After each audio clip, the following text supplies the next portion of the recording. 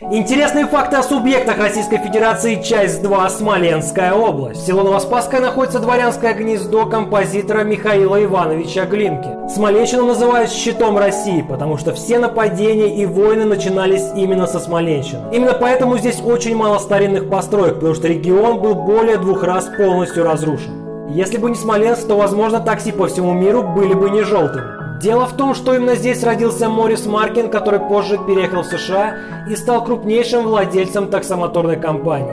Именно он сделал желтый цвет популярным.